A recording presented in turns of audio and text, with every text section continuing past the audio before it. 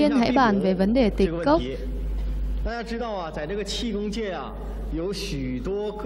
Mọi người biết rằng trong giới khí công xuất hiện rất nhiều các loại trạng thái. Người ta cũng không phân biệt được rõ rốt cuộc đó là chuyện gì. Là công năng hay là đề cao tầng thứ, hay là tất yếu sẽ như vậy, hay là thế này thế nọ. Họ không thể giải thích rõ được. Tịch cốc này cũng là một trong những trạng thái như vậy. Chúng ta sẽ nói một chút về trạng thái này. Hiện tượng tịch cốc này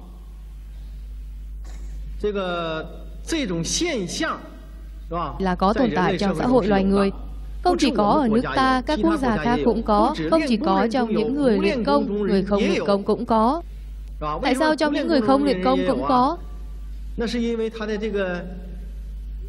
Đó là do căn cơ và những thứ mang theo từ trước của họ tạo thành. Mọi người cũng đã biết báo chí từng đăng rằng có người không ăn trong mấy chục năm hoặc trong nhiều năm. Đó không phải chỉ có một hai trường hợp mà việc này xuất hiện ở nước ta cũng rất nhiều. Họ thực sự không ăn. Dù chư vị có tin hay không cũng vậy, đương nhiên có một số người cứ chừng mắt mà phản đối, nhắm mắt mà phản đối. Chúng tôi nói Nghe nói rằng có cơ quan hàng không cũng đang triển khai nghiên cứu về phương diện này. Cũng thể nói rằng hiện tượng này có tồn tại, trong ngoài nước đều có báo cáo về nó. Trong giới tu luyện thì sự việc này cũng không phải là hiếm.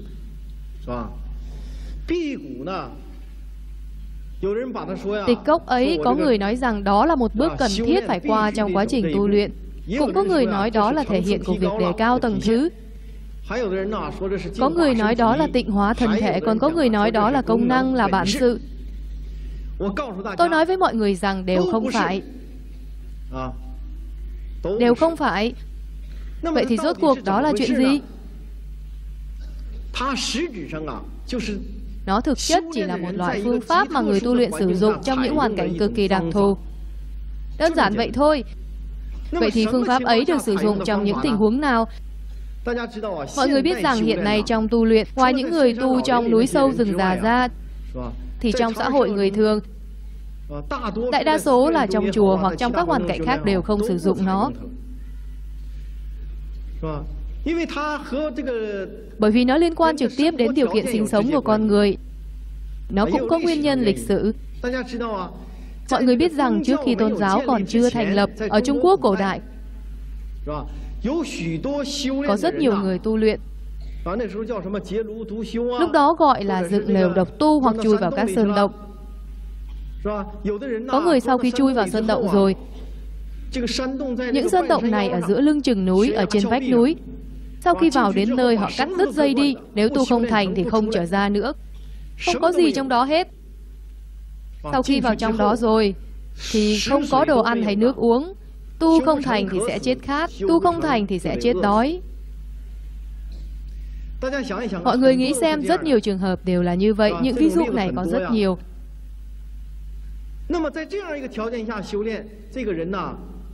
Vậy thì tu luyện trong điều kiện như vậy, người này sẽ gặp phải vấn đề về nguồn cấp lương thực. Cho nên nếu người đó không sử dụng phương pháp này thì sẽ bị chết đói.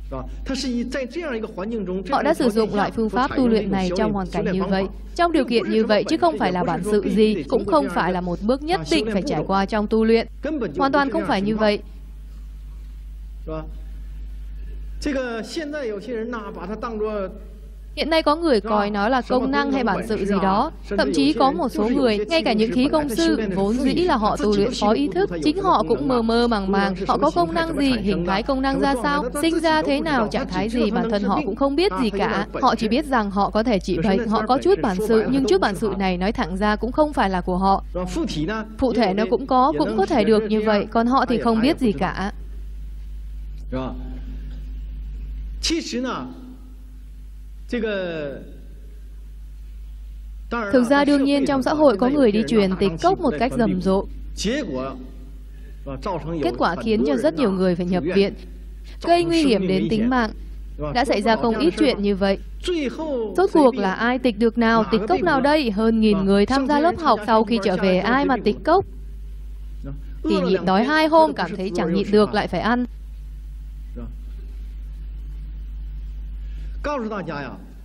Tôi nói với mọi người rằng nó chính là một phương pháp tu luyện được sử dụng trong một hoàn cảnh cực kỳ đặc thù, mà phương pháp tu luyện này là thứ vượt khỏi người thường. Vậy một khí công sư mà truyền rộng rãi thứ này thì thực chất là họ đang phá hoại pháp, can thiệp vào lý của người thường cho nên họ chính là ma. Mọi người thử nghĩ xem, người thường chính là sinh sống như vậy, chính là cho phép con người sống như vậy. Người ta mà không ăn nữa thì có còn là người nữa không?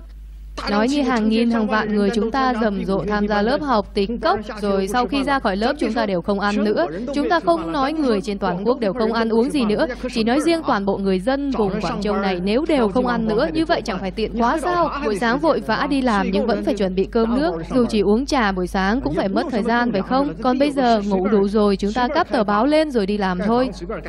Cũng không cần trồng lương thực nữa, đất đai sẽ có thật nhiều, cứ tùy ý khai thác, muốn xây nhà thì cứ tùy ý xây, muốn xây cái gì thì xây cái đó, cũng không cần phát triển nông nghiệp nữa. Vậy thì tiện quá rồi, giảm đi được cả chuyện phiền phức nhất rồi, không ăn thì có lẽ cũng không cần bài tiết nữa. Mọi người thử nghĩ xem chuyện này có được phép tồn tại không? Hoàn toàn không thể có chuyện này được. Cho nên nó phá hoại trạng thái của xã hội người thường như vậy. Tất nhiên nó sẽ gây nên hậu quả rất nghiêm trọng. Cho nên có rất nhiều người gặp nguy hiểm đến tính mạng, đói đến mức không chịu được. Mọi người thử nghĩ xem một người tu luyện mới có thể làm như vậy được. Còn người kia bản thân anh ta có tâm hiếu kỳ muốn đạt được chút gì đó. Anh ta bèn đi thử, tịch cốc, tịch cốc à, tôi cũng tịch cốc. Nhưng mà tâm người thường của chư vị vẫn chưa bỏ, thất tình lục dục của chư vị vẫn chưa bỏ. Chư vị chấp trước đối với đồ ăn, đủ loại đồ ăn, thịt này, trứng này, gà này, cá này, tâm chấp trước với các loại đồ ăn còn chưa tống khứ. Chư vị có thể tịch được không?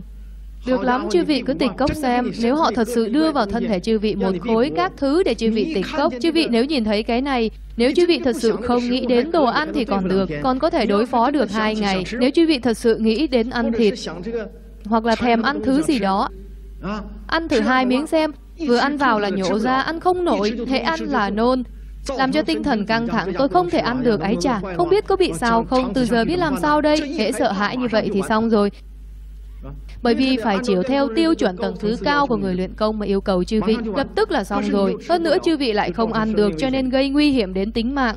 Đó cũng không phải là tu luyện, ông ấy đi dạy người ta thứ này làm gì chứ? Thật ra phàm là những người đi dạy những thứ này, tôi cũng đã xem rồi. Chính là đưa một thứ đen đen vào bụng chư vị. Nói chung là chư vị không ăn được gì. Cái thứ đen đen kia đặt vào trong rồi nó trướng lên, chư vị sẽ cảm thấy no. Nếu chư vị ăn vào thì cái thứ đen đen ấy sẽ đẩy ngược ra, không cho chư vị ăn. Đây cũng không phải là chính pháp chính đạo gì cả. Thứ đen ấy có thể là tốt không? Đen là tà, là âm.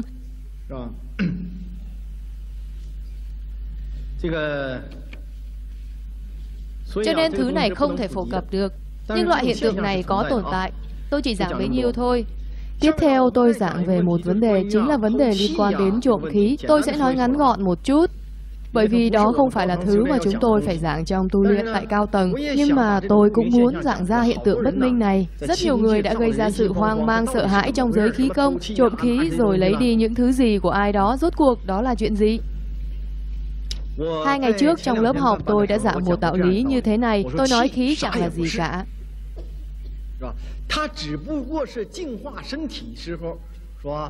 Nó bất quá chỉ là một biện pháp được sử dụng khi tịnh hóa thân thể.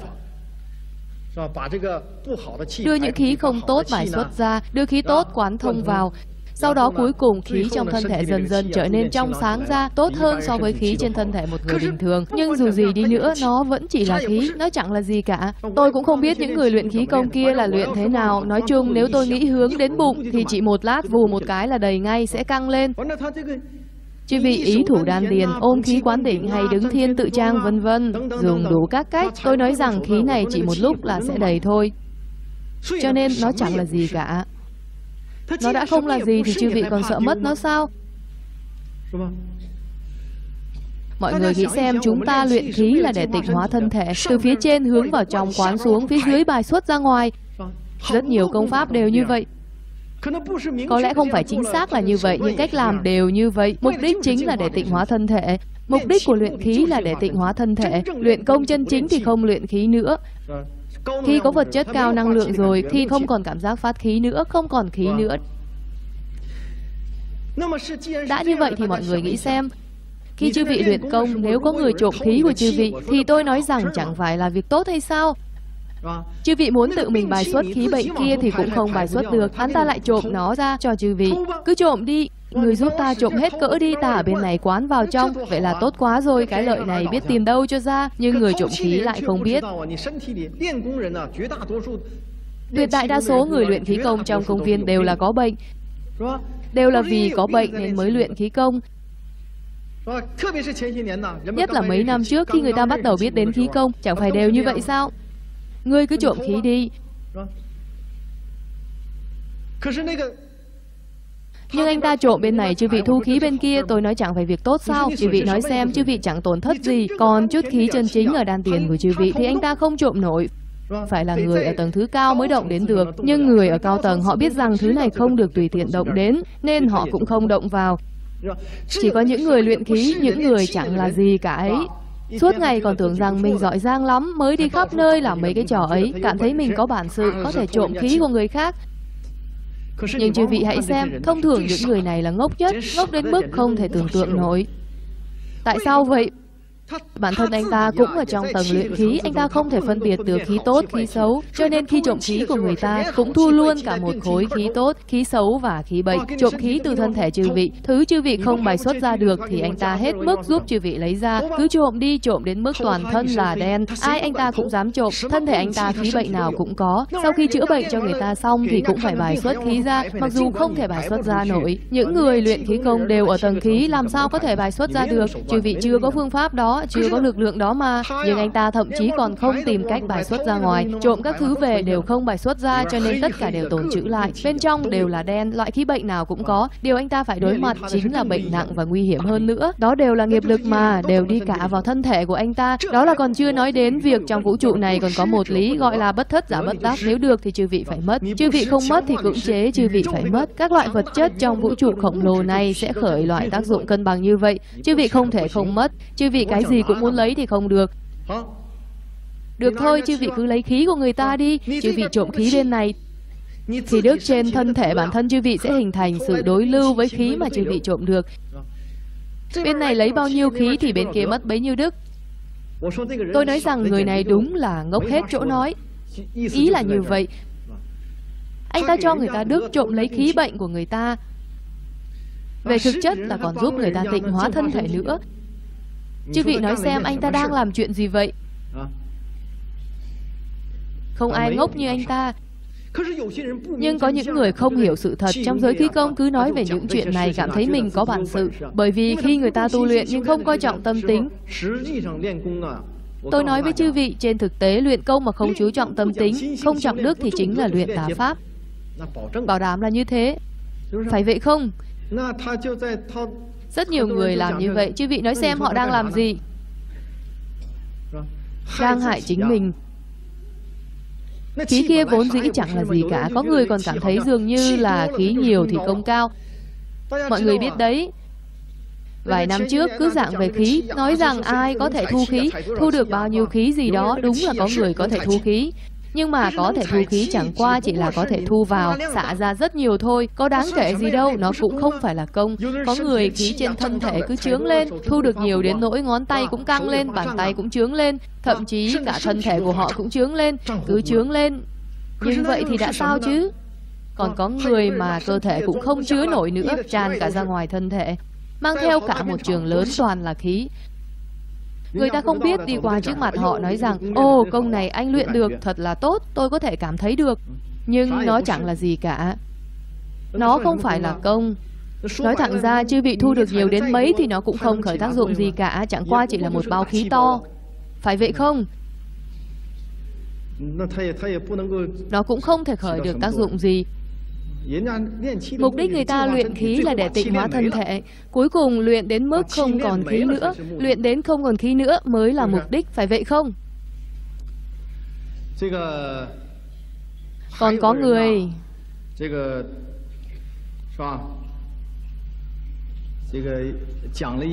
nói về một số điều như trộm khí này khí nọ của người ta dù chư vị có gọi cái khí đó là hỗn nguyên khí, khí này, khí nọ đi nữa, rất nhiều tên gọi. Tôi nói với chư vị rằng đều chỉ là chút khí tại tầng luyện khí ấy mà thôi, chẳng là gì cả.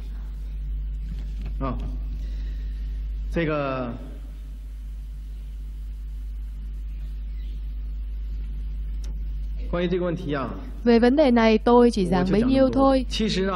Thật ra thì người luyện công muốn trộm năng lượng của người khác cũng không được.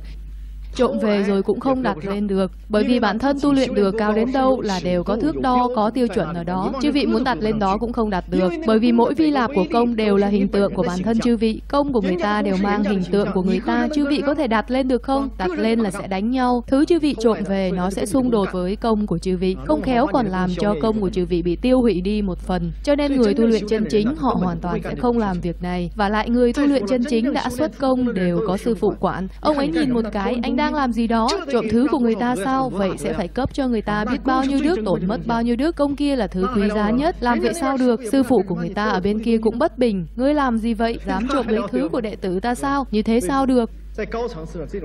Cho nên ở cao tầng thì hiện tượng này rất ít gặp. Nhưng thường khi tu luyện thế gian Pháp ở tầng rất thấp này cũng có thể xuất hiện tình huống như vậy.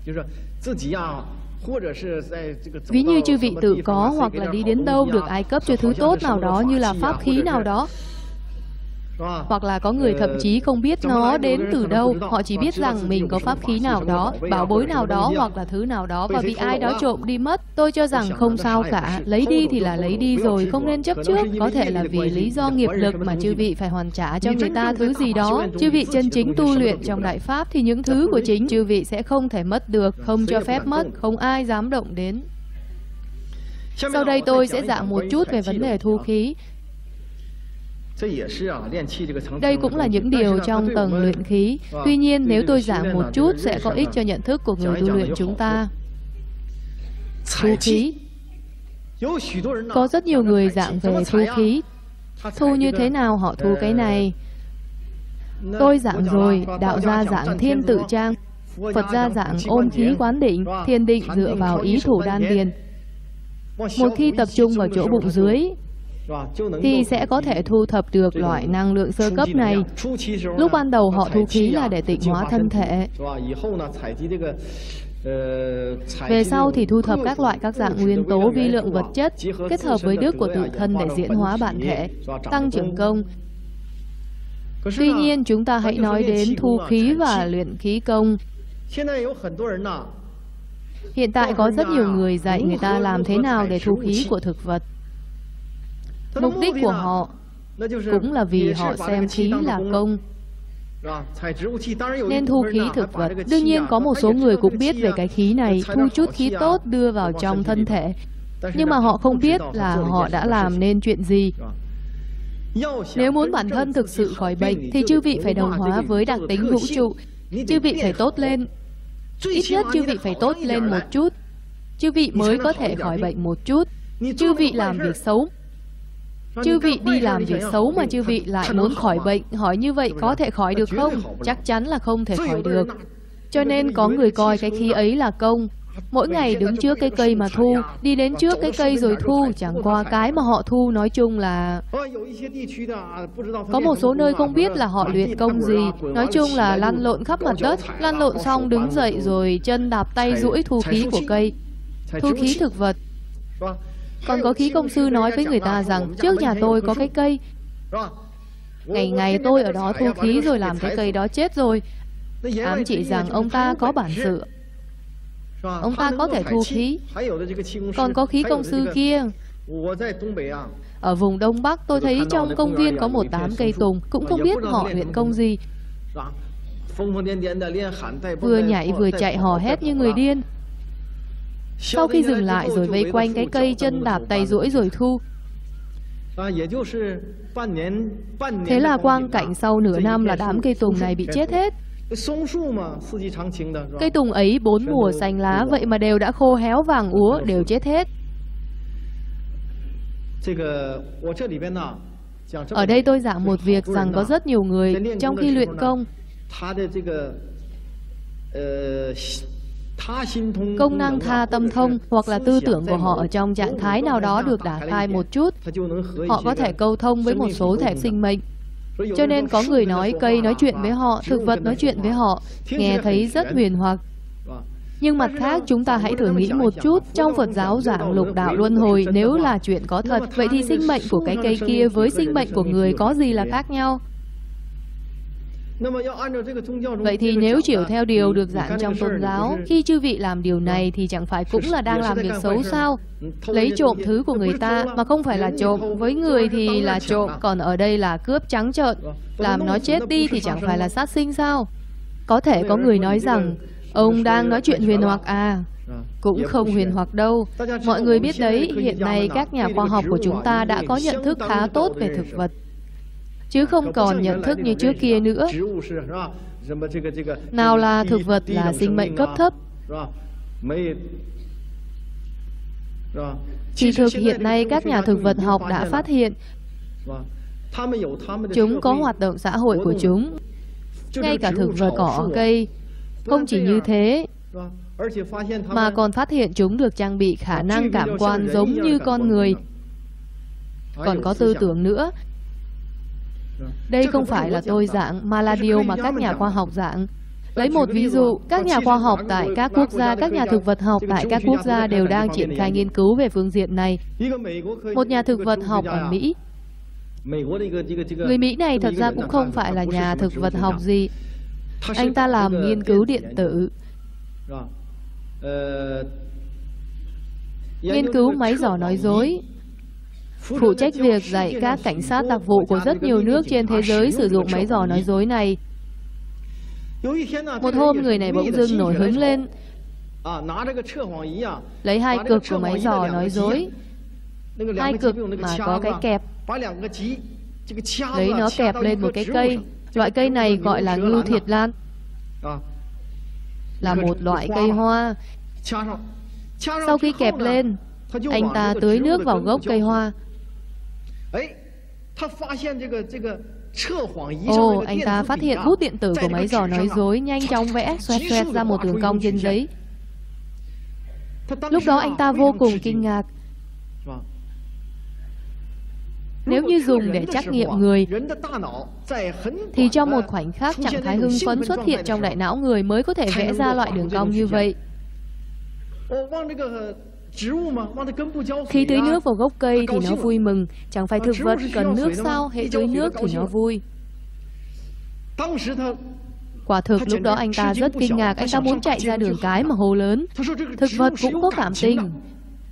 Nó cũng biết vui. Đương nhiên sau khi được khơi nguồn cảm hứng từ việc này, anh ta lại làm rất nhiều thực nghiệm. Làm thực nghiệm về các loại phương diện thậm chí đã hoàn toàn chứng thực được điểm này, đồng thời còn làm các thí nghiệm khác. Có một lần anh ta lấy hai cực của máy giò nói dối, nối vào một cái cây. Trong tâm anh ta nghĩ, mình làm thí nghiệm nào đây nhỉ? Hay là mình lấy lửa đốt lá của nó, xem xem nó có phản ứng gì nhé? Anh ta mới nghĩ như vậy. Chứ chưa có lấy lửa đốt nó, thì bút điện tử đã xoẹt xoẹt vẽ ra một đường cong trên giấy. Người ta trong khoảnh khắc rất sợ hãi thét lên, cứu tôi với, mới có thể vẽ ra một đường cong như vậy. Anh ta muốn lấy lửa đốt nó, nó liền biết, nó kêu cứu mạng. Nhưng anh ta chưa nói ra cũng chưa có làm mà nó đã biết rồi. Mọi người thử nghĩ xem đây chẳng phải là thậm chí đã vượt qua con người sao? Não người nghĩ gì? Nó liền biết.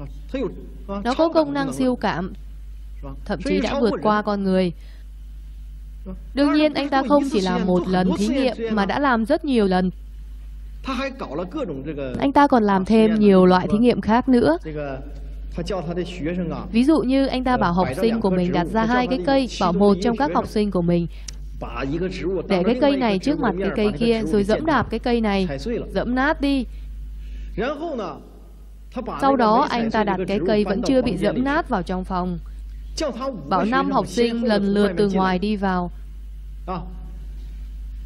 xem có phản ứng gì. Sau khi anh ta nối vào máy giỏ nói dối, bốn học sinh đầu đi vào không có phản ứng gì cả. Khi học sinh thứ năm vừa mới bước vào cửa, thì cái cây kia liền có phản ứng, liền nhìn thấy bút của máy giỏ nói dối vẽ ra một loại đường cong.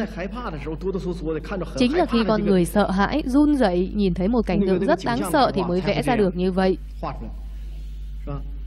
我们大家一直过去讲啊，说这个植物 Trước đây ai mà nói rằng thực vật có mắt, thực vật có thể nói chuyện, thực vật có thể nhận biết con người thì chẳng phải sẽ bị cho rằng mê tín sao?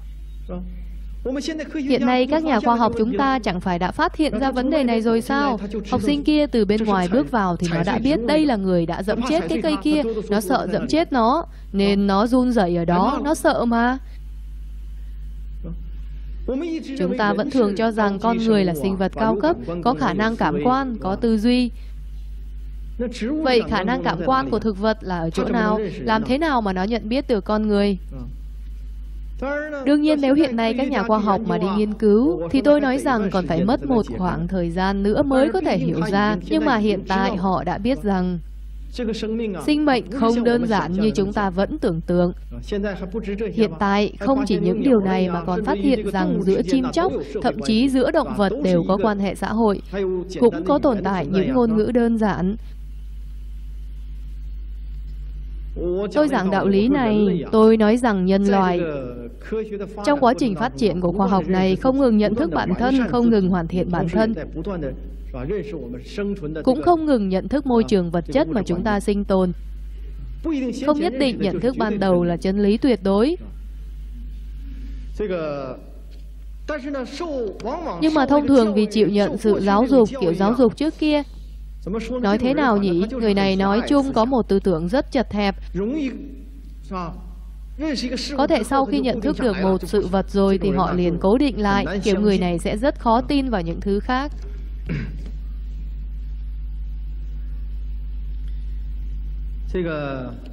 Vừa rồi chúng tôi giảng thu khí, nếu như từ điểm này mà xét thì nếu như chư vị làm chết cái cây kia thì chẳng phải là sát sinh, chư vị quán khí bệnh kia lên thân nó thì chẳng phải chư vị làm việc xấu đều giống nhau cả. Cũng là đang làm việc xấu. chư vị nói xem bệnh chư vị có thể khỏi được không? Chính là đạo lý như vậy. Ngay cả đứng từ góc độ người thường mà giảng thì đó cũng là làm việc xấu. chư vị làm chết cây thì chẳng phải là phá hoại của công sao Chẳng phải phá hoại cây xanh sao? Nếu nói nghiêm trọng một chút là phá hoại cân bằng sinh thái. Nếu nhiều người cùng thu khí làm chết cây thì chẳng phải là phá hoại cân bằng sinh thái sao? Chính là ý này, đứng trên góc độ nào mà xét thì cũng đều là làm việc xấu. Trong vũ trụ có toàn là khí, chư vị cứ thu thôi. Chư vị cũng là một phần tử của vũ trụ. Chư vị cứ việc thu, vì sao chư vị phải thu những thứ của người khác?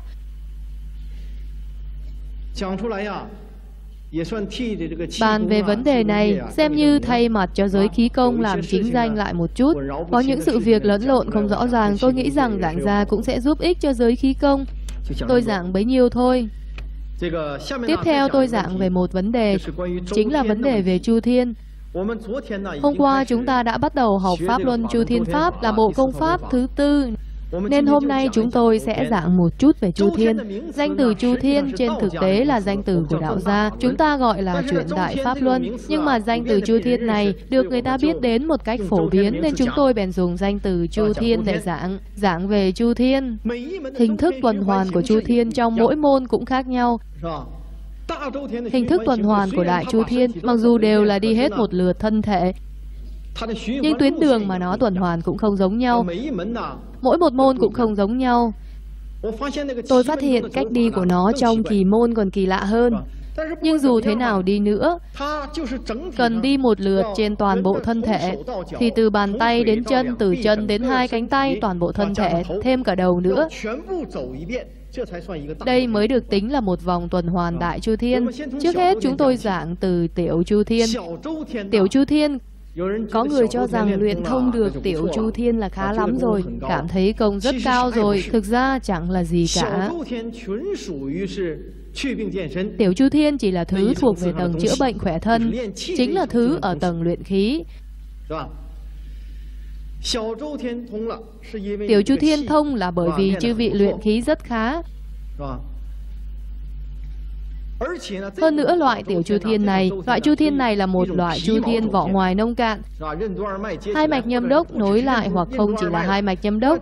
Mọi người biết đấy, hai mạch nhâm đốc mỗi mạch lại có hai đường mạch. Ngay cả trước sau chư vị có năm mạch nối lại mà chạy thì cũng chỉ là vỏ ngoài nông cạn. Do vậy tên gọi chung là chu thiên vỏ ngoài.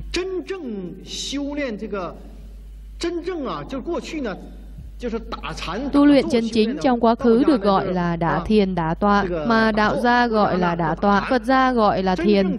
Chân chính dựa vào thiền chính là hình thức tu luyện thiền định, không có động tác tay, nó cũng có hình thức tuần hoàn chu thiên. Mà loại tuần hoàn chu thiên của họ không gọi là đại chu thiên, cũng không gọi là tiểu chu thiên, mà chỉ là kiểu tuần hoàn như vậy. Và nó cũng không đi theo hai mạch nhâm đốc, mà là tuần hoàn từ bên trong, dẫn theo toàn bộ mặt ngoài thân thể khai mở, nhất mạch tới bách mạch. Ví dụ như từ nê hoàn cung của con người, tức là thẻ tùng quả mà tôi giảng cho đến đan điền của con người, đan điền ở vị trí bụng dưới, vòng quanh nê hoàn cung rồi đi xuống, lại vòng quanh đan điền chuyển một vòng ở bên trong. Đây là chu thiên chân chính trong thiền định mà quá khứ giảng. Mà chu thiên này sau khi luyện trong thời gian dài, nó không phải là một tuyến rất hẹp, dần dần sẽ rộng ra, ngày một rộng hơn.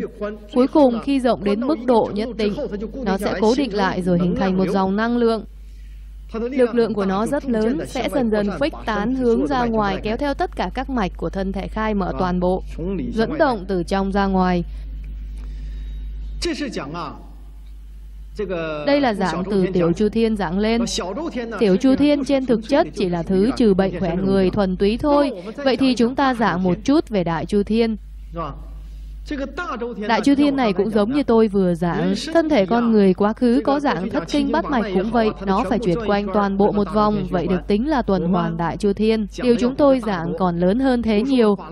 Tôi nói rằng Pháp Luân Công ngay từ đầu đã là đứng trên tầng thứ rất cao mà luyện, hoàn toàn tránh khỏi khí công, những điều ở tầng thấp nhất của tu luyện mà chân chính tu luyện, cho nên những thứ này đều hoàn toàn bỏ qua rồi. Chư vị tu luyện ở trên tầng thứ cao, mọi người biết đấy, tu luyện ở tầng thấp không chỉ là trừ bệnh khỏe thân, tịnh hóa thân thể, mà còn cần đặt một số cơ sở hình thành một bộ các thứ, hình thành một bộ cơ chế mới có thể tu luyện trên tầng thứ cao. Một bộ các thứ này, chúng tôi đã bắt đầu cài cho mọi người và cài đặt xong rồi. Có một số người thì vẫn đang cài, tịnh hóa thân thể cho chư vị xong, sau đó cài vào cho chư vị những thứ ấy, cũng tức là không cần chư vị luyện nữa. Tôi đẩy chư vị qua tầng thứ này đẩy chư vị vượt qua.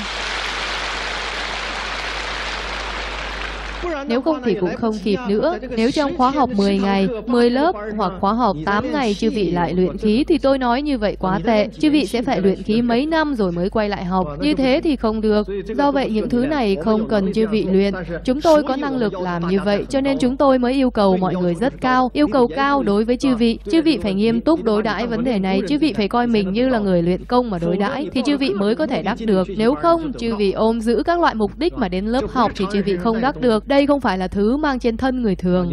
Có người còn nói với tôi, thưa thầy, nhà chúng tôi còn có người không đến, cũng muốn học Pháp Luân Công. Thầy có thể cấp cho Pháp Luân không? Chúng tôi sẽ đóng học phí. Ồ, chư vị dùng mấy chục đồng để mua Pháp Luân, thứ quý giá thế. Nghe thì thật buồn cười, nó là thứ mà không cách nào dùng giá trị để đo lường được. Đương nhiên chư vị chưa học nên tôi cũng không trách vì chư vị không biết mà. Có thể vì người tu luyện mà cấp cho chư vị một cách vô điều kiện những thứ rất quý giá. Nhưng với người không tu luyện,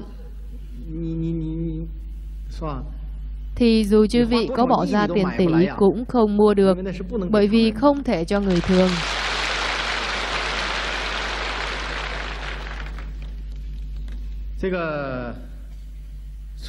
Cho nên tôi giảng rằng Đại Chu Thiên này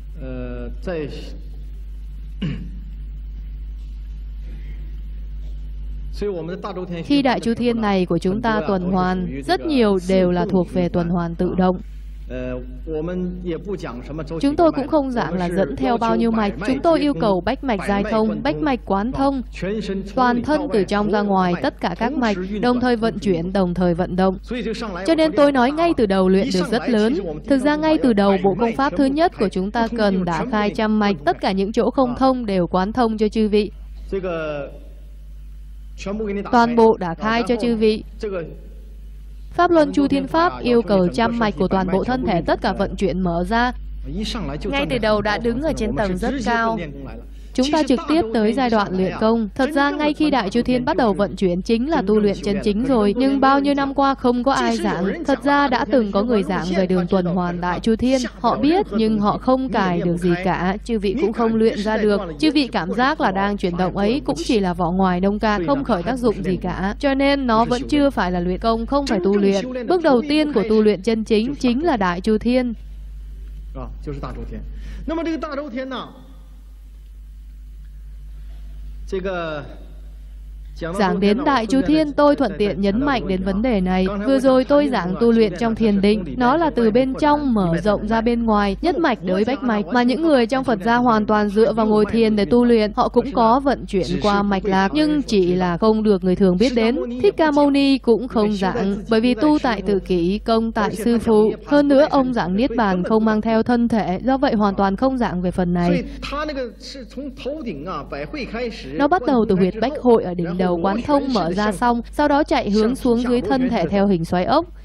Nó chạy như vậy, sau đó có người phát hiện ra nói rằng đới mạch này không phải là đới mạch mà là theo đường xoáy ốc như vậy mà đi xuống. Không phải vậy, đới mạch chính là đới mạch, đó là phương pháp luyện của đạo gia, mà Phật gia thì đi xuống theo hình xoáy ốc.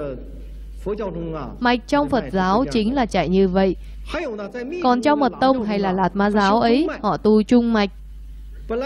Người ta dạng rằng vốn dĩ thân thể người không có chung mạch, kỳ thực thân thể người hoàn toàn không có tồn tại mạch. đại chu thiên hay mạch tiểu chu thiên, cũng không tồn tại tiểu chu thiên, chỉ bất quá là đem các mạch nối lại cho nó tuần hoàn như vậy thì nó mới tồn tại. Nghĩa là tuy nói rằng chung mạch không tồn tại nhưng mọi người biết đấy, có cả hơn vạn mạch ngang dọc giao nhau, tiếp nối các mạch nhánh chi chít này lại rồi quán thông thẳng ra nới rộng ra thì chẳng phải sẽ hình thành trung mạch sao? Nó sẽ hình thành như vậy.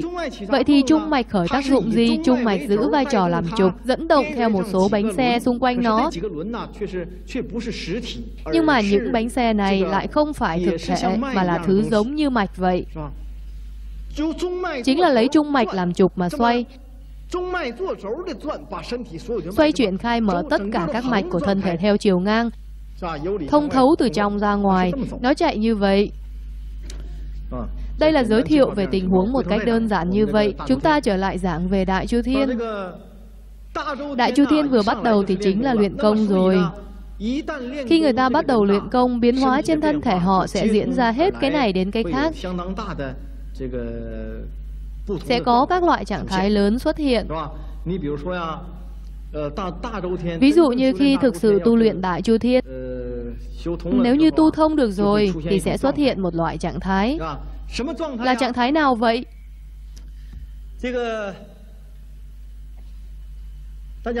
Mọi người biết đấy, trong rất nhiều sách tu đạo có cách nói như thế này, gọi là bạch nhật phi thăng có câu như vậy. Người luyện công trong quá khứ cũng biết rằng có người đã bay lên được. Chuyện như vậy là có thật. Nếu con người muốn bay lên, tôi thấy thật là đơn giản. Chỉ cần đại chu thiên của chư vị thông thì chư vị sẽ bay lên. Đơn giản vậy thôi. Nhưng có người nói luyện pháp luân công thì bách mạch đều thông rồi. Vừa vào đã có thứ mạnh mẽ như vậy. Sao không thấy có ai bay lên? Đúng. Trong tình huống công khai thông thường thì chư vị không nhìn thấy được.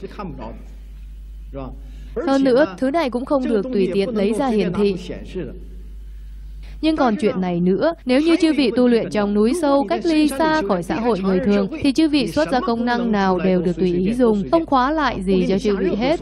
Nhưng mà tu luyện trong trạng thái xã hội người thường thì phải khóa lại cho chư vị, chư vị không thể siêu thường được. Cả ngày đi lại cứ lơ lửng bên ngoài, thì chư vị có còn là người thường không? Người ta đều coi chư vị như thần tiên. Tâm danh lợi của chư vị, cái tâm hoan hỷ này của chư vị chắc sẽ khởi lên. Thậm chí chư vị tự coi mình là thần tiên. Vậy chư vị còn có thể tu luyện không? Không thể. Cho nên không cho phép vô cớ làm phá hoại trạng thái xã hội người thường dễ dàng như vậy được. Chư vị muốn tu luyện như vậy thì thông thường cũng không được phép. Người có thể bảo trì loại công năng này, thường thì họ cũng sẽ không làm như vậy. Trong các đệ tử tu luyện Pháp Luân Công chúng ta có rất nhiều ví dụ như vậy, có rất nhiều người bay lên được. Tôi lấy ví dụ này cho mọi người. Có rất nhiều người Ví dụ như có người ở Bắc Kinh nói với tôi, Thưa Thầy, thân thể con vì sao lại nhẹ như vậy? Đi trên đường cứ như chân không chạm đất vậy. Cứ như con được cần cẩu nhấc lên mà đi. Thực ra kể từ hôm qua trong lớp học này của chúng ta đã có rất nhiều người có trạng thái như vậy, đi bộ cảm thấy người rất nhẹ.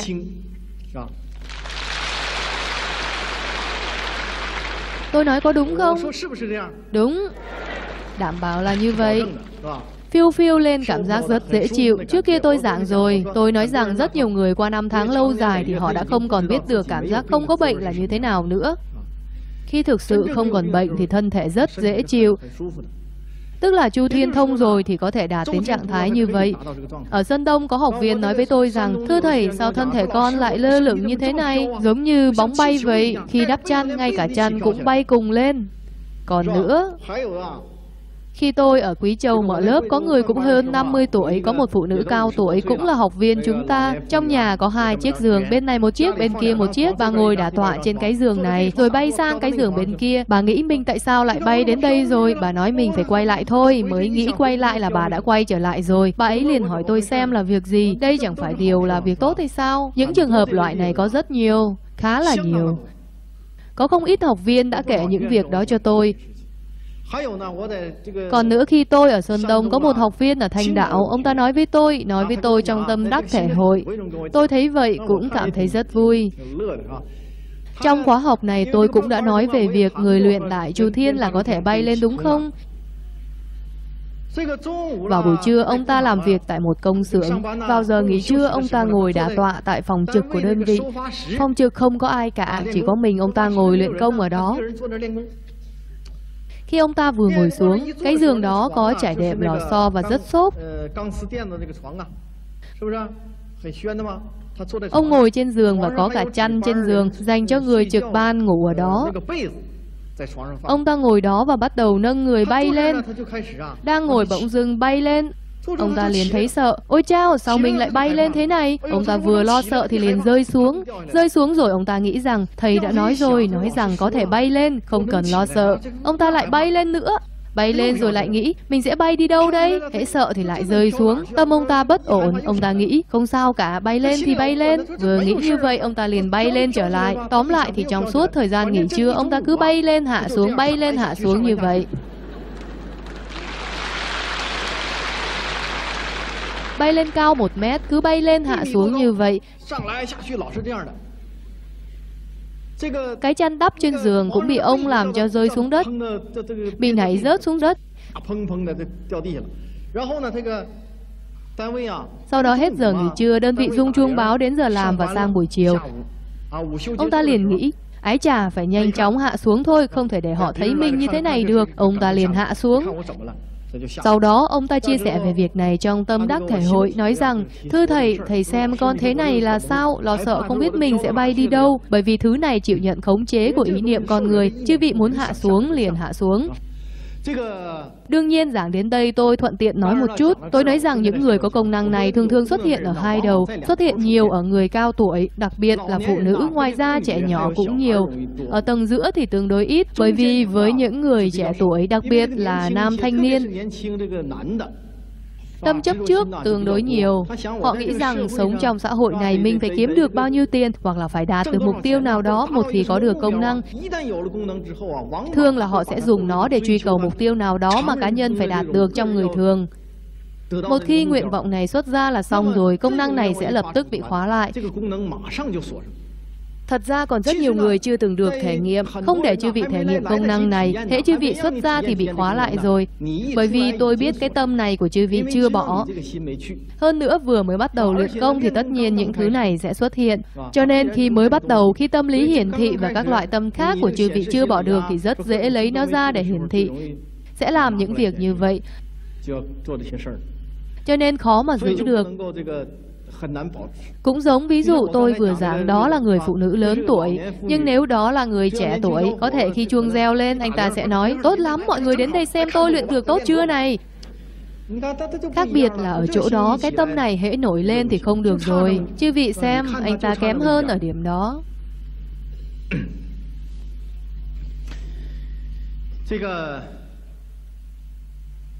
Đồng thời, hễ đại chư thiên thông xong, Đương nhiên, như tôi đã giảng, đa số học viên một khi xuất hiện trạng thái này thì công năng đều bị khóa lại. Đương nhiên nó không như cách khóa thông thường, những công năng khác là bị khóa lại và đặt ở một chỗ nào đó. Còn công năng này nó chỉ có thể khóa tại đầu ngón tay, đầu ngón chân gì đó hoặc thay đổi vị trí. Nó sẽ không bị khóa thường xuyên ở một chỗ. Bị khóa thường xuyên thì nó không thông nữa, nên nó sẽ thay đổi vị trí. Nay khóa chỗ này, mai khóa chỗ kia. Nói chung là luôn khóa lại cho chư vị. Chư vị sẽ không dễ bay lên. Tuy không thể bay lên nhưng chư vị sẽ cảm thấy thân thể nhẹ bẫng, nổi bồng bềnh. Leo núi cũng không mệt, leo cầu thang cũng không mệt. Trước kia khi leo cầu thang thở dốc mà còn không lên nổi. Bây giờ leo lên người khác đuổi không kịp mà cũng không thở dốc. Hơn nữa khi sắp thông, khi sắp luyện thông. Nếu phía trước thân thể mà thông tốt thì chư vị ngồi ở đó không vững sẽ ngã về phía sau. Nếu phía sau mà thông tốt, chư vị sẽ cảm thấy phía trước rất nặng, ngã về phía trước sẽ xuất hiện trạng thái đó. Nếu hai phía đều thông rất tốt rồi thì chư vị sẽ cảm thấy tất cả người lên, cảm giác như người nâng lên sẽ xuất hiện trạng thái này. Vừa rồi giảng về trạng thái mà Đại Chu Thiên có thể mang đến cho chúng ta Ngoài ra nếu đại chu thiên mà thông thì cũng sẽ dẫn đến một loại công năng cho người ta. Dẫn đến một loại công năng. Là công năng gì? Lấy ví dụ như khi luyện công, khi đại chu thiên của chúng ta tuần hoàn, qua thời gian lâu thì hình thức tuần hoàn của toàn bộ chu thiên sẽ hình thành một dòng năng lượng. Dòng năng lượng Dòng năng lượng này bởi vì năng lượng của nó không ngừng tăng cường, bổ sung. Khi nó càng ngày càng hoàn thiện thì nó sẽ trở thành một loại công năng, công năng hình đai, một dòng năng lượng hình đai, cũng tức là nó sẽ hình thành một loại công năng hình đai. Dòng năng lượng này có mật độ rất lớn, càng ngày càng lớn, thành phần phân tử của nó vô cùng nhỏ mịn. Mật độ càng ngày càng lớn, nó có thể phóng lớn vô hạn, cũng có thể thu nhỏ. Nếu chủ công năng này đã xuất ra bên ngoài cơ thể thì chính là công năng ban vận. Vì trong thân thể nó đã khởi tác dụng này rồi. Mọi người biết rằng đạo gia luyện công coi thân thể người như một tiểu vũ trụ. Khi tiểu vũ trụ trong quá trình tuần hoàn vì đã là vũ trụ, nên tôi cho rằng bên trong thân thể chư vị có lẽ sẽ tương đồng so với vũ trụ bên ngoài. Mọi người biết rằng hiện tại chúng ta đang thấy mặt trời này, chín hành tinh lớn quay xung quanh mặt trời và các hành tinh đều xoay quanh các vì sao. Trong những vũ trụ khác, trong những thiên hà khác cũng là tình huống này thôi. Hơn nữa hệ ngân hà cũng đang vận chuyển. Vậy mọi người thử nghĩ xem khi electron quay xung quanh hạt nhân nguyên tử thì có giống như trái đất đang quay xung quanh mặt trời không? Nếu tại mức cực vi quan mà có kính phóng đại lớn như vậy, có kính phóng đại với bộ số lớn như vậy, chư vị nhìn xuống xem trên quả cầu nhỏ electron đó có thứ gì? Còn trên hạt nhân nguyên tử là trạng thái gì? Hiện nay không có năng lực như vậy nên không quan sát được đến đó. Tôi đã giảng rằng Thích Ca Mâu Ni khi tu tới tầng rất cao, ông giảng hai câu là kỳ đại vô ngoại, kỳ tiểu vô nội. Nghĩa là gì? Lớn đến mức nhìn không thấy biên giới của vũ trụ. Nhỏ trong mắt của người thường thì Phật Như Lai đã là Phật rất lớn rồi. Phật mà con người được phép biết đến trong quá khứ chính là Như Lai. Cao hơn nữa thì không cho phép chư vị biết. Ông nhìn không thấy biên giới của vũ trụ. Nhỏ, nhỏ hơn nữa, nhìn không thấy vi lạc bản nguyên của vật chất nhỏ nhất ở mức vi quan là gì. Con mắt của đại giác giả cũng đã rất lợi hại rồi. Lợi hại tới mức độ nào? Ông giảng học thuyết 3.000 đại thiên thế giới mà. Ông giảng trong hệ ngân hà có 3.000 đại thiên thế giới. Đồng thời ông còn giảng dạng rằng trong một hạt cát cũng có 3.000 đại thiên thế giới. Trong một hạt cát lại giống như hệ ngân hà của chúng ta, hệ ngân hà này có 3.000 hành tinh, có sinh mệnh như nhân loại chúng ta, hành tinh có sự sống, có thân thể vật chất, có đến 3.000 hành tinh. Ông nói tam thiên đại thiên thế giới. Vậy thì ông đã nhìn thấy trong hạt cát có 3.000 đại thiên thế giới, nghĩa là trong một hạt cát cũng có 3.000 tinh cầu vật chất là vi lạp nhỏ mà có tồn tại sinh mệnh giống như hệ ngân hà của chúng ta. Chính là ý nghĩa đó. Hơn nữa ông còn giảng Đương nhiên tại mức cực vi quan đã thấy đến bước này rồi, có lẽ không chỉ đến bước này, bởi vì chúng ta tiếp tục truy xuống, chúng ta sẽ thử xem xem Thích Ca Mâu Ni đã giảng rằng trong một hạt cát có 3.000 đại thiên thế giới, vậy thì chịu theo lời đó của Thích Ca Mâu Ni thì trong ba ngàn đại thiên thế giới trong hạt cát đó chẳng phải còn có sông sao, chẳng phải còn có những hạt cát. Vậy thì trong hạt cát đó chẳng phải còn có ba nghìn đại thiên thế giới. Vậy thì bên trong hạt cát, ở bên trong hạt cát đó chẳng phải còn có ba nghìn đại thiên thế giới. Bên trong hạt cát của hạt cát của hạt cát kia chẳng phải còn có ba nghìn đại thiên thế giới. Tiếp tục truy xét xuống sẽ phát hiện là vô cùng vô tận. Cho nên Thích Ca Mâu Ni đã giảng câu kỳ đại vô ngoại, kỳ tiểu vô nội. Ông nhìn không tới bản nguyên của Vi Lạp nhỏ nhất của vật chất. Mọi người biết rằng chúng ta ở đây cũng không phải nói chuyện tôn giáo hay thần bí gì cả, mà là giảng về nhận thức đơn thuần về khí công trong giới khí công của chúng ta. Mọi người biết rằng hiện nay vật lý học của chúng ta cũng đã dần dần nhận thức về thế giới vật chất này phải không? Các nhà khoa học của chúng ta hiện nay đã phát hiện ra phát hiện rằng có phân tử tồn tại. Vậy thì phân tử tồn tại, phân tử là do cái gì cấu thành? Phát hiện rằng cấu thành phân tử còn có nguyên tử tồn tại, mà cấu thành nên nguyên tử còn phát hiện ra có hạt nhân nguyên tử, electron, neutron tồn tại. Vậy thì tiếp tục truy xét xuống lại còn phát hiện ra hạt quark, tiếp tục truy xuống lại phát hiện ra neutrino, tiếp tục truy xuống nữa thì phát hiện ra cái gì? Thì tiến trình phát triển của khoa học hiện nay mới chỉ tới bước này. Nhưng so với nhận thức chân chính về bản nguyên của vật chất, vật chất bản nguyên của vật chất thì còn cách rất xa. Nhưng ở đây chúng ta không giảng điều gì duy tâm cả. Mọi người thử nghĩ xem nếu theo nhận thức của vật lý học, tôi nói rằng so với nhận thức của Thích Ca Mâu Ni về 3.000 đại thiên thế giới thì không có gì là chênh lệch cả.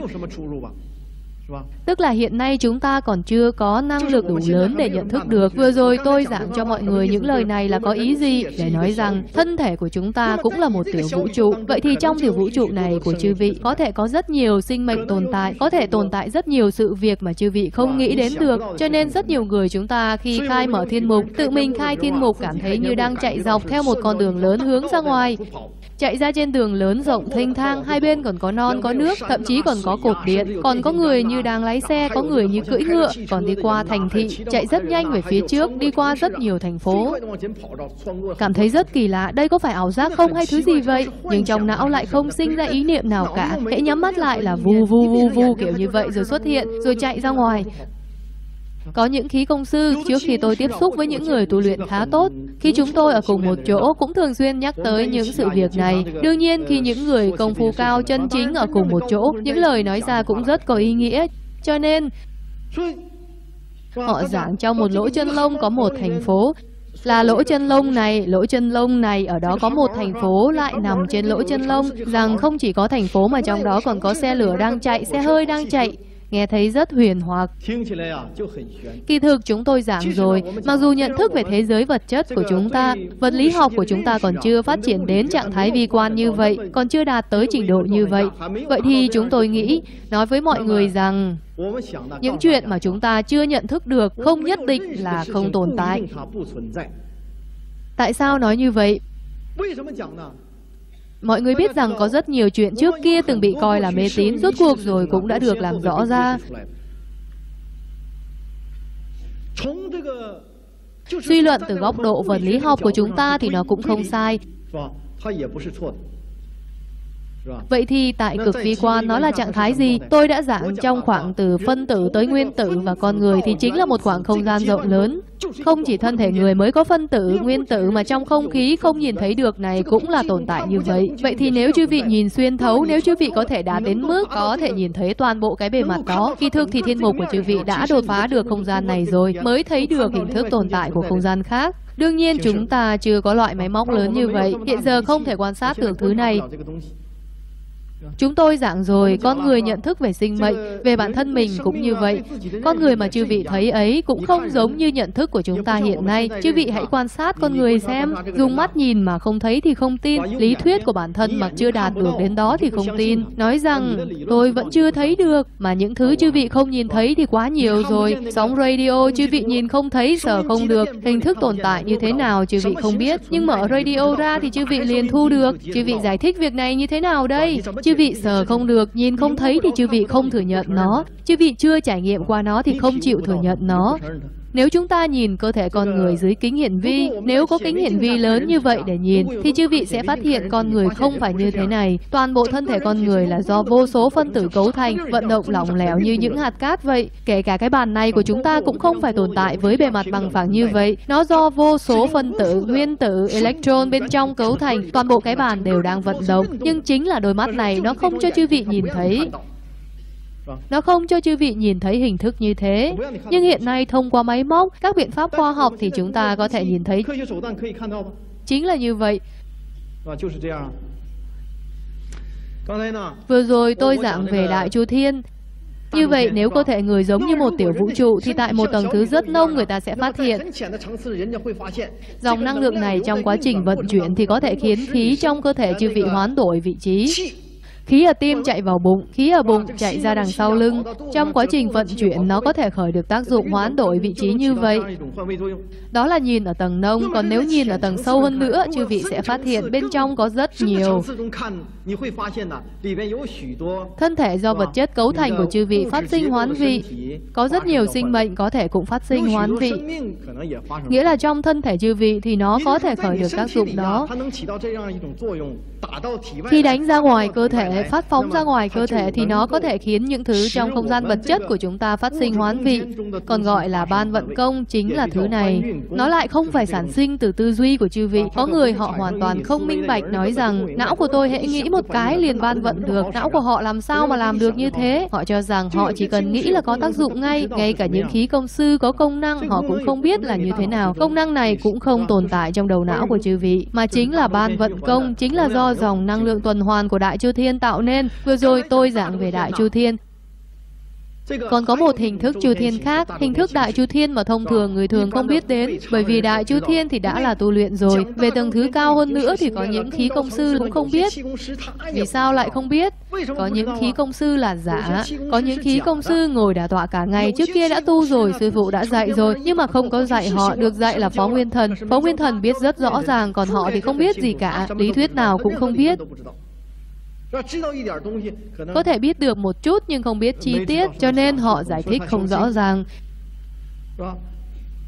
Hình thức tuần hoàn này của Chu Thiên, mặc dù nó có thể vận chuyển ngược, cũng có thể vận chuyển xuôi, dù là vận chuyển xuôi hay vận chuyển ngược thì đều thuộc về Đại Chu Thiên, hay còn gọi là tí ngọ Chu Thiên, còn gọi là hình thức vận chuyển càn khôn. Đối ứng với vận chuyển tí ngọ chu thiên này còn có một loại gọi là mão dậu chu thiên. Quá khứ không ai giảng về nó cả, nó thuộc về bí mật trong những bí mật. Rất ít người biết đến tuyến đường tuần hoàn, hình thức tuần hoàn của loại chu thiên này. Mão dậu chu thiên là gì? Rất ít người biết được. Thật ra mão dậu chu thiên cũng rất đơn giản. Nếu người ta viết thành kinh thư, viết thành sách tu đạo thì có thể viết ra rất nhiều bài. Chân truyền một câu nói, giả truyền vạn cuốn sách. Đối với người khác là bí mật trong những bí mật. Chúng ta trong lớp học đều biết rằng rất nhiều thứ trong quá khứ không cho phép người thường biết đến. Thì ở đây chúng tôi đều giảng ra những điều này. Có người nói tôi là tiết lộ thiên cơ. Không phải là tiết lộ thiên cơ, chúng tôi ở đây là truyền có mục đích. Trong thời kỳ lịch sử này, sự việc này nhất định phải làm như vậy. Chúng ta không phải là Nếu khí công sư nào mở miệng nói lung tung mà không chịu trách nhiệm thì đó là tiết lộ thiên cơ, sẽ phải chịu báo ứng. Mục đích chúng tôi ở đây giảng ra là nhắm vào người luyện công để chư vị tu luyện, để chư vị có thể tu luyện. Điều giảng cho chư vị là Pháp. Ở đây không phải tiết lộ thiên cơ mà là có chịu trách nhiệm với mọi người. Điều này tôi vừa giảng rồi. Điều mà người ta coi là bí mật trong những bí mật thì chúng tôi chỉ cần vài câu là giảng ra rồi. Mọi người biết rằng tôi có một đặc điểm khi giảng bài là dùng ngôn ngữ đơn giản dễ hiểu nhất nhất mà giảng cho chư vị đạo lý thâm sâu nhất. Cố gắng hết sức để chư vị hiểu rõ, không gây mơ hồ cho chư vị. Chúng ta hãy giảng một chút về mão dậu chư thiên. Người ta giảng lòng vòng bên ngoài giảng cả nửa ngày, tôi chỉ giảng mấy câu là xong. Mão dậu chu thiên, Chư vị có thể bắt đầu từ huyệt bách hội, cũng có thể bắt đầu từ huyệt hội âm, chạy dọc theo chỗ giao giới của hai mặt âm dương, không phải là đi theo càn khôn thế này. Mão dậu là mão dậu mà, nó đối ứng với tí ngọ. Thế này là vận chuyển tí ngọ, còn mão dậu là theo chiều ngang. Tức là chạy dọc theo chỗ giao giới của hai mặt âm dương. Sau khi từ đỉnh đầu đi xuống thì đến tai, từ trên tai đi xuống chạy theo vai của cơ thể đi xuống. Sau đó chạy men theo từng ngón tay, từng kẽ ngón tay, men theo một bên của thân thể, đi xuống dưới bàn chân, sau đó từ dưới bàn chân đi lên men theo mặt trong của chân tới dưới háng, sau đó lại đi xuống dưới bàn chân, lại đi lên theo một bên cơ thể, men theo từng ngón tay, từng kẽ ngón tay đi lên, vận chuyển đến đỉnh đầu. Đây chính là mão dậu chu thiên, chỉ cần vài câu là đã sáng tỏ. Về hình thức vận chuyển thì nó cũng có thể vận chuyển xuôi và vận chuyển ngược. Còn chúng ta giảng thì giảng thôi, chính là nói cho chư vị rằng tương lai chư vị có thể sẽ xuất hiện trạng thái đó. Nhưng chư vị không được luyện theo. Chư vị động bất kể ý niệm nào mà luyện thì đều không phải là luyện Pháp Luân Công. Chư vị cố ý luyện thì đó còn gọi là Pháp luyện người gì nữa. Chúng ta là luyện người tự động. Chư vị luyện thì chẳng phải là tự chư vị luyện hay sao? Không cần chư vị làm theo bất kể những thứ hình thức nào khác.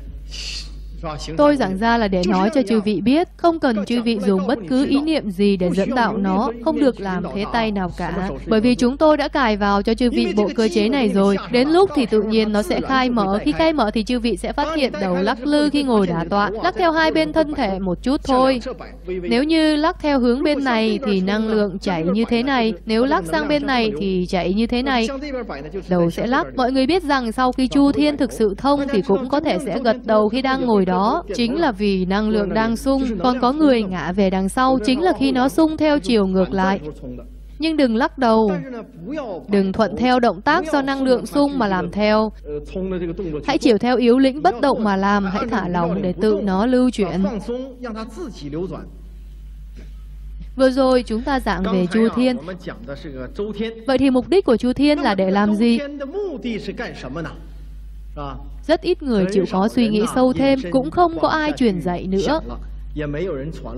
Mục đích của Chu Thiên là để làm gì? Dù chư vị luyện Chu Thiên có tốt hơn nữa, mạch của chư vị có thông tốt hơn nữa, thì mục đích của nó là làm gì? Tôi nói với mọi người rằng Chu Thiên bản thân nó không phải là mục đích. Mục đích của Chu Thiên là dẫn tất cả các mạch của thân thể khai mở theo.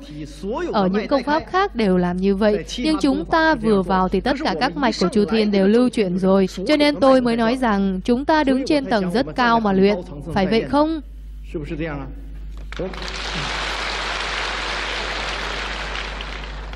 Cái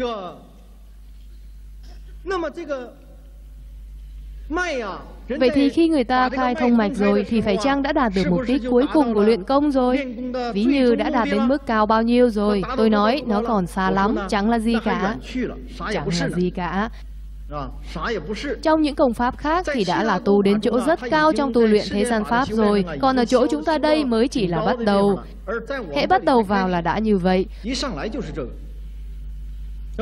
Cho nên việc thông mạch này, toàn bộ khai thông cũng không phải mục đích. Còn khai thông tiếp nữa, các mạch từ không sáng dần dần sẽ trở nên sáng. Năng lượng dần dần chuyển hóa, cuối cùng sẽ rộng thêm ra, khiến mạch này rộng thêm. Có người đã thấy người luyện khí công và nói với anh ta rằng mạch này thật là rộng, ái trà luyện thật là tốt. Tôi nói rằng chẳng là gì cả, vẫn còn xa lắm. Vậy thì mạch này cần được làm rộng thêm tới mức nào? Thực tế thì luyện mạch, thông mạch, tuần hoàn chu thiên vẫn là vì để thông mạch. Thông mạch không phải là mục đích, làm rộng ra cũng không phải là mục đích. Cuối cùng mạch này luôn được làm rộng ra, tất cả trăm mạch đồng thời nới rộng ra. Rộng ra, rộng ra hơn cả trăm mạch, hơn cả vạn mạch, cuối cùng toàn bộ tất cả các mạch liên kết lại thành một. Đạt đến một cảnh giới không mạch không huyệt. Như vậy mới đạt được mục đích cuối cùng của việc thông mạch. Khi luyện tới bước này, thân thể người nơi nào cũng là mạch, nơi nào cũng là huyệt. Ngược lại cũng có thể nói rằng chỗ nào cũng không có mạch, chỗ nào cũng không có huyệt. Toàn bộ thân thể đều là thông thấu. Cuối cùng sẽ đạt đến bước này. Đến bước này, người này, đương nhiên họ cũng sẽ không có bệnh. Là sự nếu thật sự có bệnh thì chư vị có châm cứu cũng sẽ không còn huyệt vị nữa. Khí công võ thuật kia, chư vị điểm huyệt cũng không có tác dụng gì, không có điểm huyệt, điểm không tới được. Nó cũng không giống như phim võ thuật gì đó mà nước ta làm, như là luyện kim trung cháo, thiết bố sam để cuối cùng không thể bị phá vỡ. Phá vỡ rồi thì nó là do chừa lại một cái cửa khí. Ở đây ngay cả cửa khí cũng không có, toàn bộ thân thể đều là thông thấu.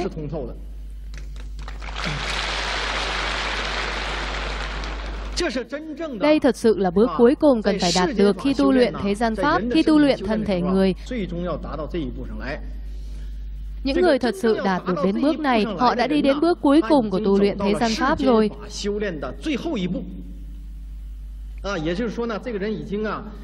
Tức là người này đã đi đến đỉnh điểm của thế gian Pháp rồi.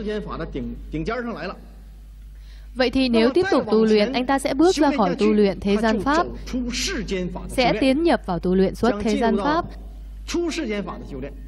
Nhưng giữa hai cái này có một tầng thứ quá độ, cũng là tầng thứ cuối cùng. Cũng là tầng thứ cuối cùng của tu luyện thế gian Pháp, nhưng lại không thuộc về tu luyện thế gian Pháp, bởi vì nó là giai đoạn trung gian. Toàn bộ thân thể đã tiến nhập vào trạng thái tịnh bạch thể. Tịnh bạch thể chứ không phải nãi bạch thể. Nãi bạch thể là khi con người bắt đầu từ luyện khí tới khi sắp luyện công, thì xuất hiện thân thể được tịnh hóa cao độ, giống như em bé vừa sinh ra với nhục thân thuần tịnh. Còn tịnh bạch thể tức là thân thể người đã hoàn toàn được vật chất cao năng lượng chuyển hóa. 整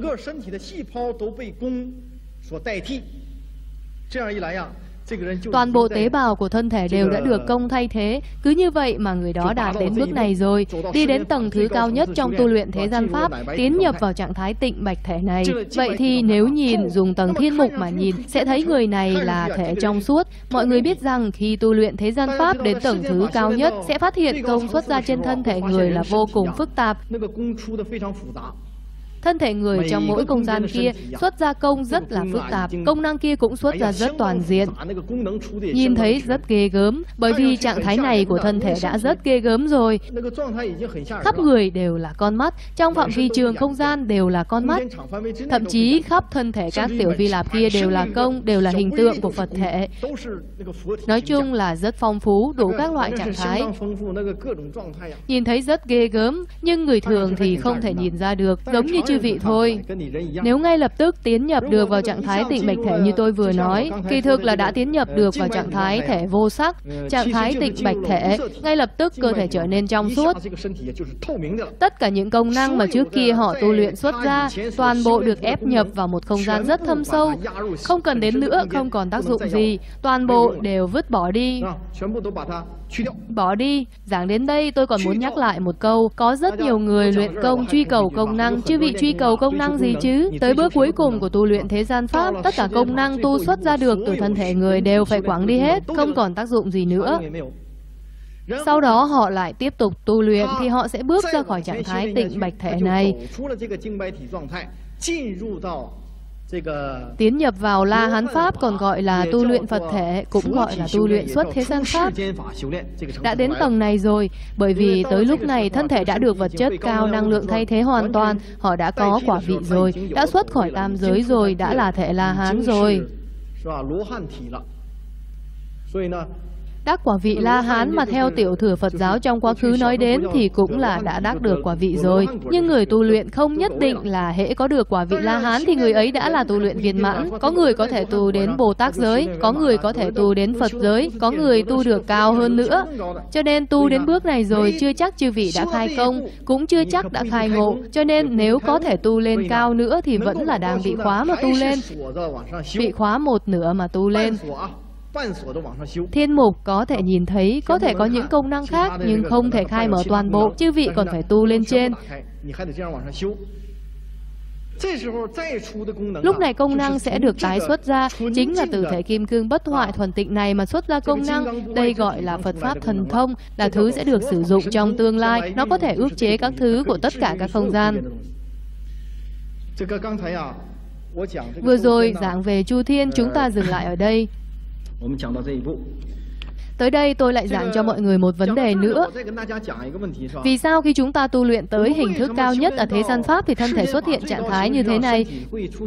Sẽ xuất hiện cơ thể trong suốt, gọi là tịch bạch thể, cũng có thể gọi là tinh bạch thể. Nó trong suốt.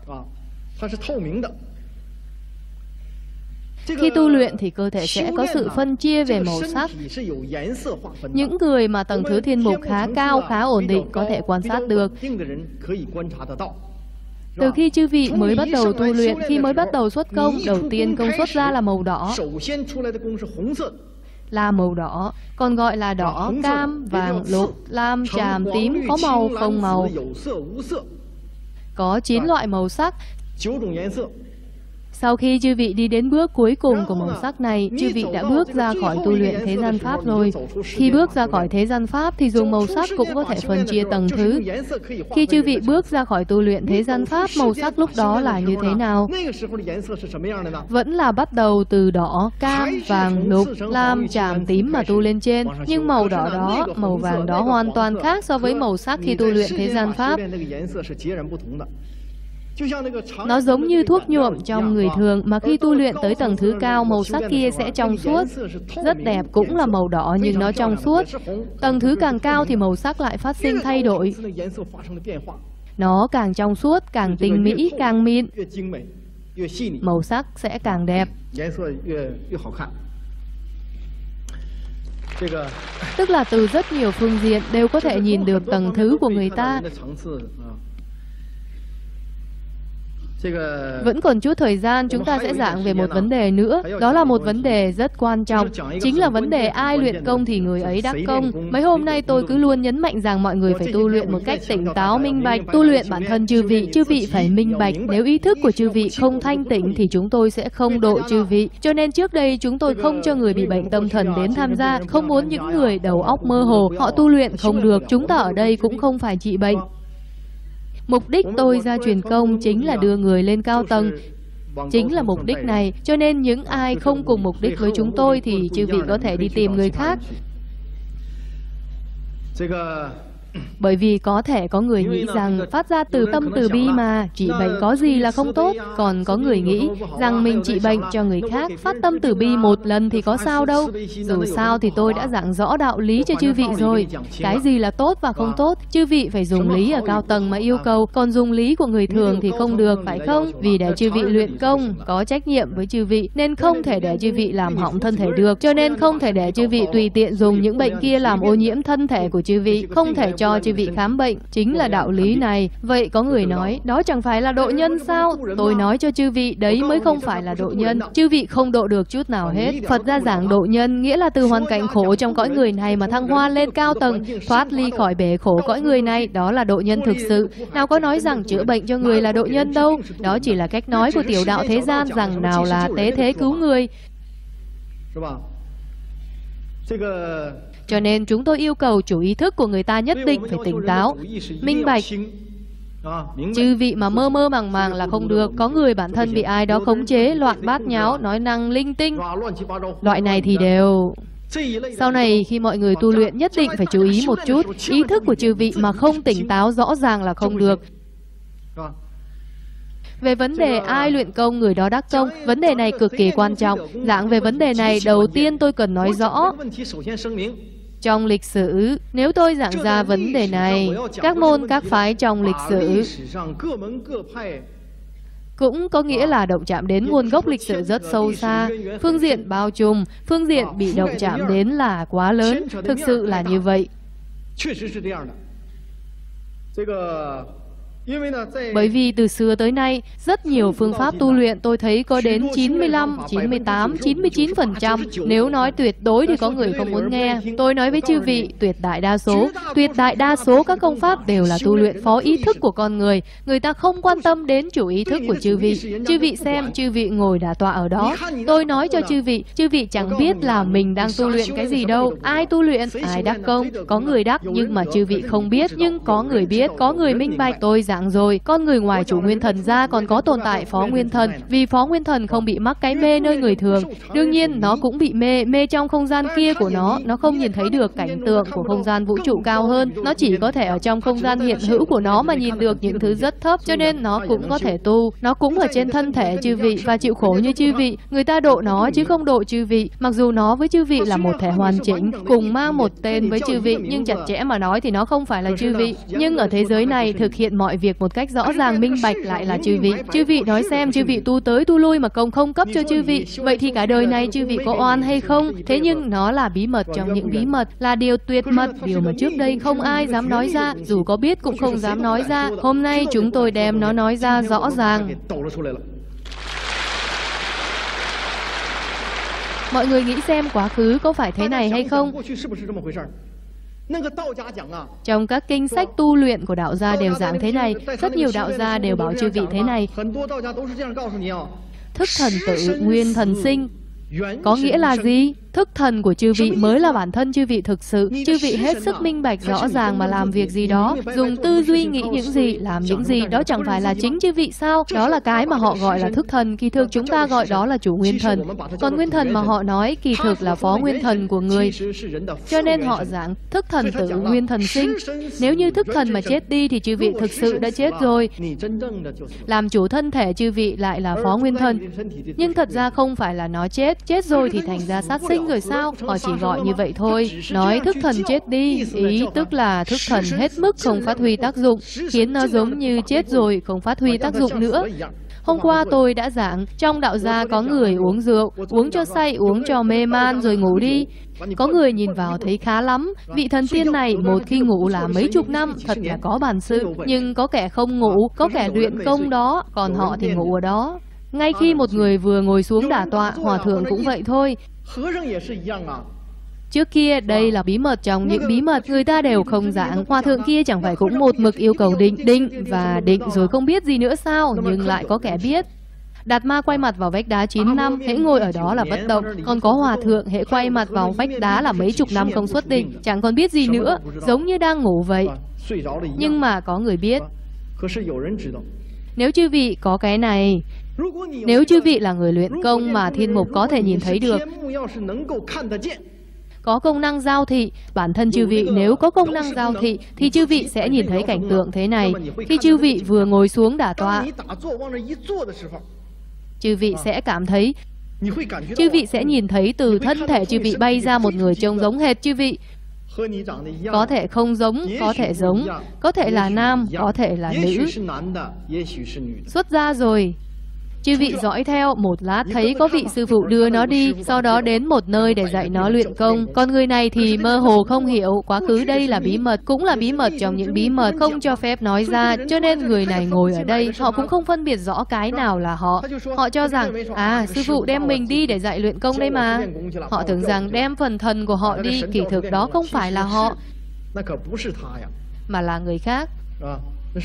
Còn họ thì không được gì cả. Sau khi trăm tuổi, mỗi người một ngã. Bởi vì người thực sự chịu khổ tu luyện là kẻ khác. Vậy thì tại sao người ta lại không độ họ mà lại độ kẻ kia?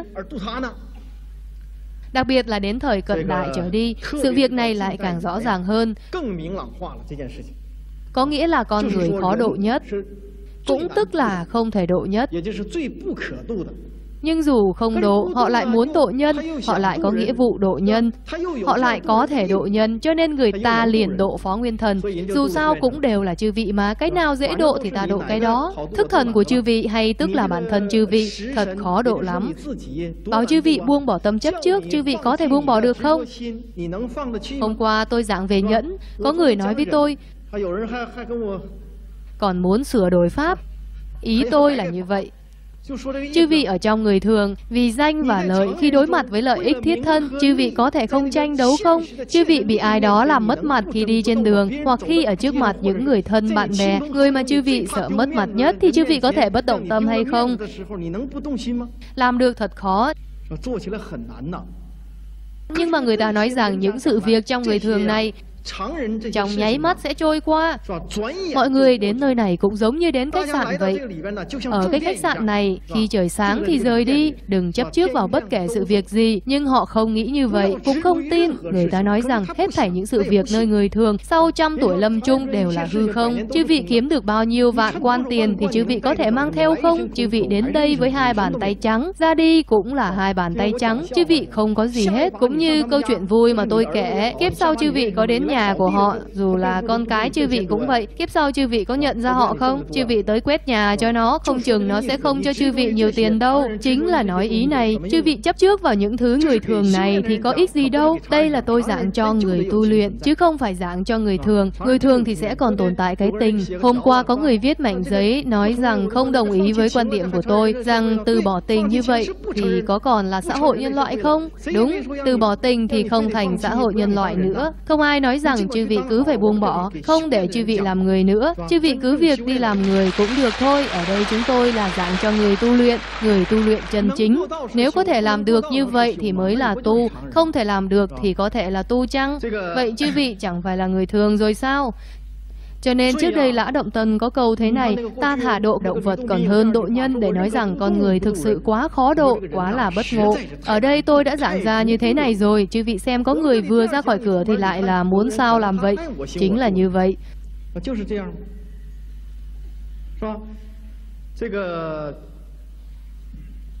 Cho nên qua các thời đại họ đều đã độ con người theo cách đấy.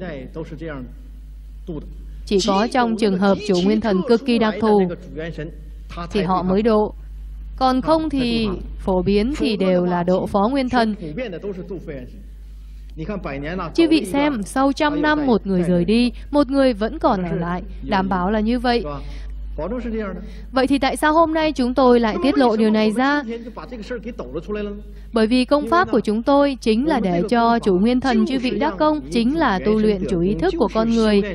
Những thứ này của chúng tôi chính là tu luyện chủ ý thức con người, cho nên không giảng cũng không được. Hễ giảng ra là động chạm đến phương diện lịch sử rất lớn, căn nguyên lịch sử rất sâu xa, phương diện liên quan đến cũng rất lớn. Cho nên hôm nay chúng tôi giảng nó ra.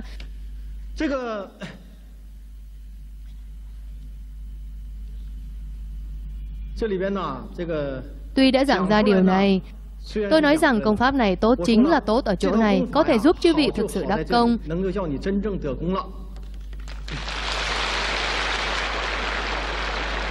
Nhưng tôi nói với mọi người, mọi người vỗ tay cũng đừng mừng quá sớm.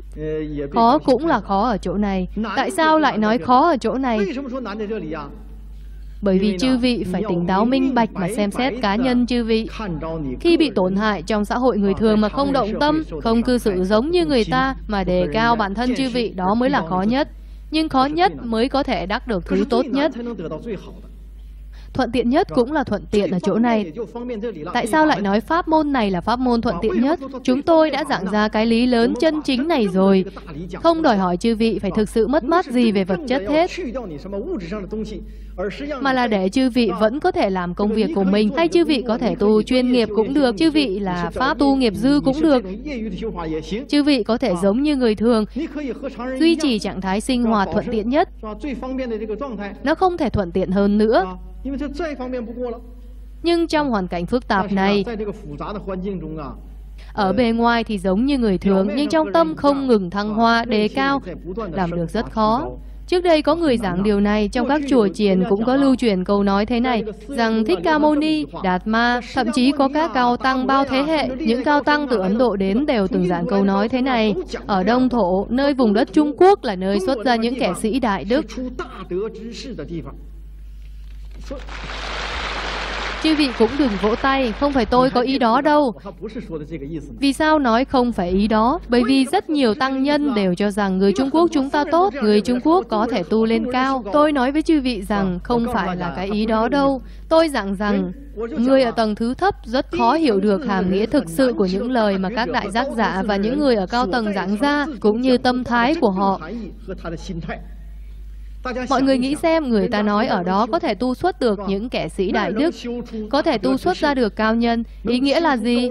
Chỉ trong hoàn cảnh phức tạp nhất ấy, trong quần thể người phức tạp nhất, thì mới có thể tu xuất ra được những người tốt nhất, có phải không?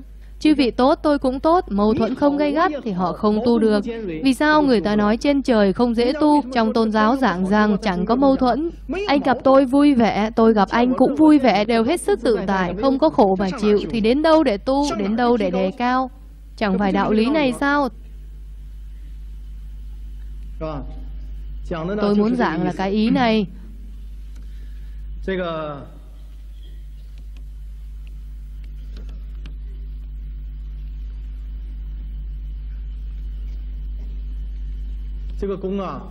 Cho nên công này chúng tôi yêu cầu khi luyện bộ công pháp này, bản thân phải nâng cao tâm tính của mình một cách rõ ràng minh bạch. Chủ yếu là phải đặt công phu vào tâm tính, sau đó là luyện công. Công là để cải biến những thứ thuật loại trên thân thể chư vị, cũng có nghĩa là chư vị cũng tăng công. Chỉ tu tâm, chỉ tu tâm tính, không luyện công thì chư vị chỉ là người tốt trong những người tốt, chư vị là đang tích đức. Nếu chư vị chỉ luyện công thì nó cũng không tăng. Cho nên nhất định phải chú trọng vào pháp mà tu luyện. Giảng đến đây tôi có thể nói với chư vị điều này. Mọi người biết tôi đã không xuất hiện trong 2-3 tháng nay Khoảng gần 4 tháng nay, tôi xử lý một vài vấn đề, không đứng ra mở lớp. Nhưng trong thời gian này, tôi cũng cố ý quan sát một chút tình hình hoạt động của các nơi, để xem các học viên có thể kinh qua được khảo nghiệm hay không. Nếu như trong tình huống tôi không có ở đây, trong tương lai khi tôi không ở đây, khi không gặp tôi được, thì mọi người có thể thực thi như thế nào? Tôi cũng cố ý xem xem, biểu hiện các chủng các dạng đều có. Nhưng mà nhìn một cách tổng thể thì rất là tốt. Trong các học viên ở khu Trường Xuân có xuất hiện hiện tượng thế này. Lúc mới bắt đầu, người phụ đạo viên phát hiện thấy có rất nhiều vấn đề giải đáp không nổi. Mà học viên lại muốn hỏi, đành phải đợi gặp tôi để hỏi tôi. Sau đó người phụ đạo này phát hiện rằng nếu có thể đọc sách một cách nghiêm chỉnh, chẳng phải trong sách đều đã viết ra hết rồi sao? Có học viên liền tổ chức cho mọi người bắt đầu học. Sau đó trạm phụ đạo ở Trường Xuân cũng tổ chức cho mọi người bắt đầu học Pháp. Một khi học Pháp, học lặp đi lặp lại, mọi người đã dần dần có thể giải quyết được toàn bộ các câu hỏi trong tư tưởng của mình, không còn gì để hỏi nữa. Mọi người đã tổng kết ra kinh nghiệm. Ồ, chúng ta cố gắng mất cả nửa ngày, nhưng Pháp mà sư phụ giảng chẳng phải đều ở trong sách cả rồi sao? Những điều chúng ta cần biết chẳng phải đều đã giảng ra cả rồi sao? Nghe băng tiếng, học Pháp, cuối cùng chính là cuốn sách bản hiệu chỉnh của chúng ta đây. Mọi người thấy rằng kỳ thực thì học Pháp sẽ có được sự đề cao rất lớn. Cuối cùng họ nghĩ rằng rằng nếu chỉ toàn học như vậy thôi thì cũng chưa đủ. Họ nói rằng thứ tốt như thế này tại sao chúng ta không học thuộc nó luôn chứ? Họ liền bắt đầu học thuộc sách. Cuối cùng mọi người bắt đầu hình thành cách làm thế này. Mỗi ngày sau khi luyện công xong, kiên trì ở lại đọc sách. Luyện công xong, được rồi mọi người ai vội đi làm thì cứ đi. Ai không vội đi làm thì ngồi ở lại và cùng đọc sách. Vị này đọc một đoạn, vị kia đọc một đoạn. Sau đó mọi người cùng thảo luận. Mọi người tiến bộ được rất là nhanh. Cuối cùng đã đạt đến mức nào? Hỏi các vị ở điểm này tiến hành thế nào? Chúng tôi bắt đầu học thuộc sách. Vậy ở điểm đó họ cũng bắt đầu học thuộc sách. Việc học thuộc sách như vậy truyền ra khắp trường Xuân, toàn bộ đều làm theo, bắt đầu học thuộc sách. Tiếp theo đó thì mọi người không còn cần mang theo sách đến nữa. Sau khi luyện công xong rồi, bắt đầu ngồi lại với nhau, đọc sách học Pháp. Anh này đọc thuộc một đoạn, được rồi, đến lượt anh đọc thuộc. Anh này đọc thuộc đoạn tiếp theo, anh này đọc thuộc đoạn tiếp theo. Anh này, anh này, anh này, ai đọc sai liền biết ngay vì đều học thuộc cả rồi. Còn có người có thể đọc thuộc ngược lại, chính là giấy lên một cao trào học Pháp như vậy. Vấn đề muốn hỏi đều không còn nữa, toàn bộ bộ được giải đáp rồi, trừ phi chư vị không muốn học.